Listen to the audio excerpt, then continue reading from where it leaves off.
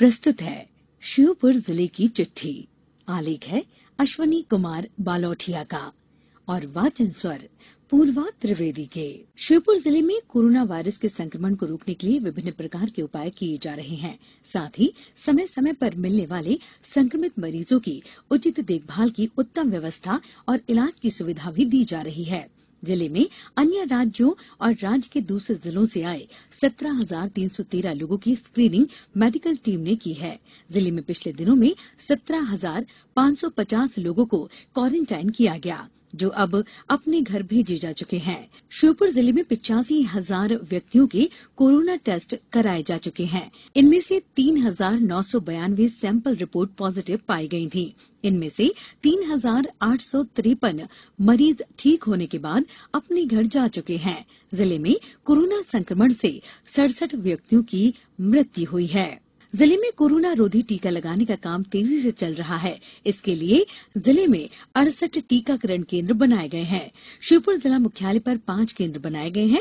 ज़िले में सभी 225 ग्राम पंचायतों में आंगनवाड़ी कार्यकर्ता, आशा कार्यकर्ता, सब सहायता समूह संस्थाएँ और फ्रंट लाइन वर्कर्स टीका लगवाने के लिए लोगों को प्रेरित कर रहे हैं। शहर के सभी तेईस वार्डो में समितियों का गठन कर अधिक से अधिक व्यक्तियों को टीका लगवाने के लिए प्रेरित किया जा रहा है। श्योपुर ज़िले में अब तक छियानवे हज़ार पाँच सौ बारह लोगों को टीका लगाया जा चुका है, जिसमें से पाँच हज़ार चार सौ निन्यानवे हेल्थ वर्कर्स, तीन हज़ार छह सौ दस फ्रंट लाइन वर्कर्स शामिल हैं। केंद्रीय कृषि एवं किसान कल्याण, ग्रामीण विकास व पंचायती राज मंत्री नरेंद्र सिंह तोमर ने IFFCO Tokyo general insurance company limited नई दिल्ली के माध्यम से जिला चिकित्सालय श्योपुर के सीएसआर मद से 250 लीटर प्रति मिनट क्षमता का पीएसए आधारित ऑक्सीजन उत्पादन संयंत्र का जिला चिकित्सालय परिसर में वर्चुअल लोकार्पण किया। श्री तोमर ने जिला चिकित्सालय श्योपुर के परिसर में 80 बिस्तरीय परमार्थ वार्ड का वर्चुअल शिलान्यास भी किया। विश्व पर्यावरण दिवस के अवसर पर मध्यप्रदेश शासन के अंकुर कार्यक्रम के तहत ज़िले में भी पौधारोपण की शुरुआत हुई। कलेक्टर राकेश कुमार श्रीवास्तव ने किला परिसर में पौधारोपण कर इसकी शुरुआत की।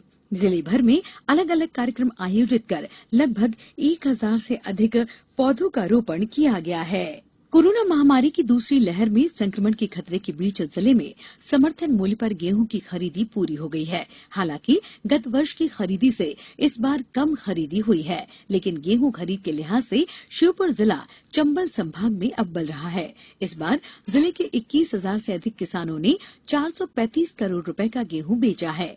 ज़िले में 22 लाख क्विंटल से अधिक की खरीदी हुई है। ज़िले में समर्थन मूल्य पर गेहूँ की खरीदी प्रक्रिया तीन अप्रैल से प्रारंभ हुई, जिसके बाद उनचास केंद्रों के माध्यम से किसानों ने गेहूँ खरीदी की। ज़िले में तेंदुपत्ता संग्रहण का कार्य प्रारंभ हो गया है। कोरोना गाइडलाइन के साथ प्रारंभ हुए इस तेंदुपत्ता संग्रहण कार्य में इस बार ज़िले के लगभग चालीस हज़ार मजदूरों को रोज़गार मिलेगा। हालाँकि गत वर्ष लक्ष्य से ज़्यादा संग्रहण हुआ था, लेकिन इस बार भी तेईस हज़ार चार सौ मानक बोरा तेंदुपत्ता संग्रहण का ही लक्ष्य रखा गया है। इस बार भी वन विभाग ने ज़िले में गत 13 मई से तेंदुपत्ता संग्रहण कार्य प्रारंभ करा दिया है। हालाँकि लक्ष्य पूर्ति के बाद भी संग्राहक तेंदुपत्ता लाते रहेंगे तो वो भी खरीदा जाएगा। ज़िले में तेंदुपत्ता संग्रहण के लिए मजदूरों को दो हज़ार पाँच सौ रुपये प्रति मानक बोरा की दर से भुगतान मिलता है, क्योंकि इस बार तेईस हज़ार चार सौ मानक बोरा का लक्ष्य है। इस लिहाज से मजदूरों को पाँच करोड़ पिचासी लाख रुपये का भुगतान होगा। तेंदुपत्ता संग्रहण का कार्य वन विभाग के अंतर्गत जिला वनोपज यूनियन सोलह वन समितियों के माध्यम से कराता है, जिनमें श्योपुर, पिपरानी नया गाँव कराहल, गोरस, पहेला, खिरखिरी, परतवाड़ा सेसईपुरा, रतोदन, ओछापुरा डोब हीरापुर, वीरपुर, विजयपुर तथा गसवानी शामिल है। इन समितियों के एक सौ नवासी संग्रहण केंद्र हैं। समितियों के माध्यम से ही तेंदुपत्ता संग्राहक मजदूरों को तय दर पर भुगतान किया जाता है। और यदि बाद में समितियों को ज़्यादा मुनाफा होता है तो फिर मजदूरों को बोनस भी मिलता है। इसी के साथ शिवपुर ज़िले की चिट्ठी समाप्त हुई।